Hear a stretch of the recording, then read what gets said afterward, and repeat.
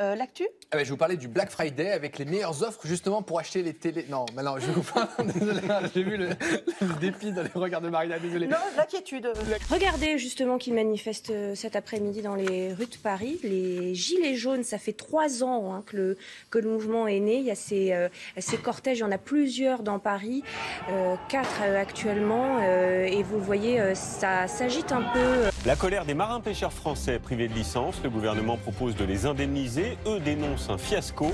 aux Pays-Bas que la police a effectué des tirs de sommation contre des manifestants anti-restriction. À Rotterdam, des émeutes auraient éclaté, des incendies allumés à divers endroits et des feux d'artifice tirés, selon la police, qui annonce que plusieurs personnes ont été blessées.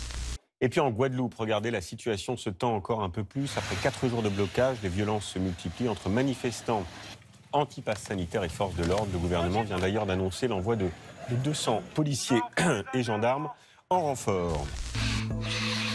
Ça pue, ça pue. Ouais, ça pue. Ouais.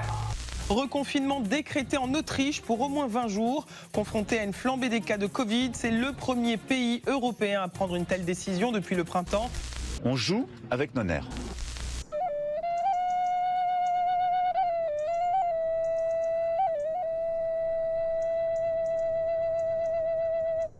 Pour lui, il, il- En fait, il nie rien. Il dit juste Voilà. qu'elles étaient consentantes et qu'elles n'ont pas eu de mal. Voilà. Alors voilà, et puis qu'elle fait, bah, qu'elles puissent être sous une emprise psychologique. Il dit bah non, elles étaient euh, voilà euh, euh, libres de leur choix et que sachant qu'il y en avait quand même l'une, enfin elles, étaient toutes les deux au moment des faits dans des, perspectives psychologiques euh, euh, particulières. Exactement, et vous le voyez déjà sur cette place de la République, il y a déjà beaucoup, beaucoup de monde, beaucoup de manifestants euh, qui sont réunis aujourd'hui. Vous voyez sur ces images avec des, pancartes violettes, car c'est la couleur traditionnelle des féministes.